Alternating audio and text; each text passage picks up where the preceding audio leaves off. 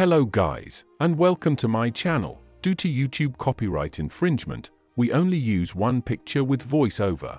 Thank you for understanding. If you love history and biographies please leave a like and a sub. Let's start the video.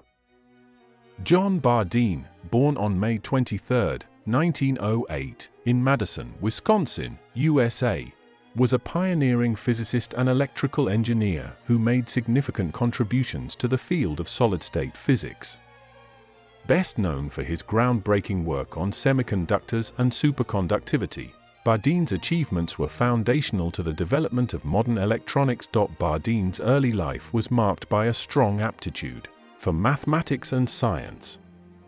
He earned his bachelor's degree in electrical engineering from the University of Wisconsin and later pursued graduate studies at Princeton University, where he completed his PhD in mathematical physics under the supervision of Eugene Wigner. After completing his education, Bardeen joined the faculty at the University of Minnesota and later moved to Harvard University.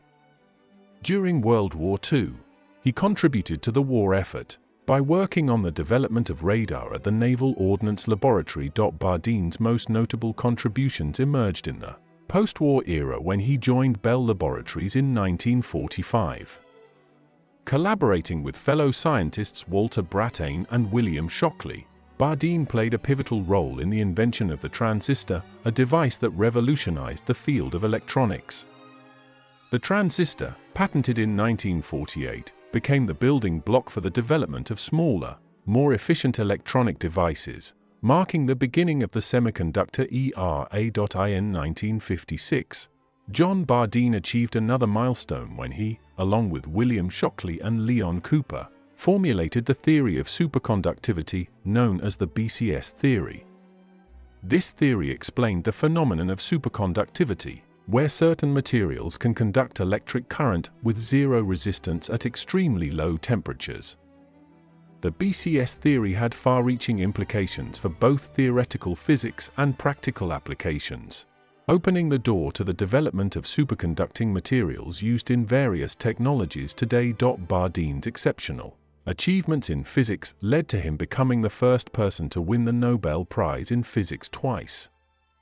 He received his first Nobel Prize in 1956, shared with William Shockley and Walter Brattain for the invention of the transistor. He received his second Nobel Prize in 1972, shared with Leon Cooper and Robert Schrieffer, for the development of the BCS theory of superconductivity throughout his career.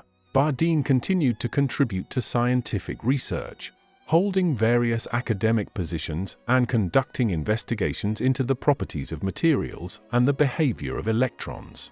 His work extended beyond the laboratory, as he also served as a scientific advisor to government agencies. Bardeen's impact on the field of physics and electronics is immeasurable.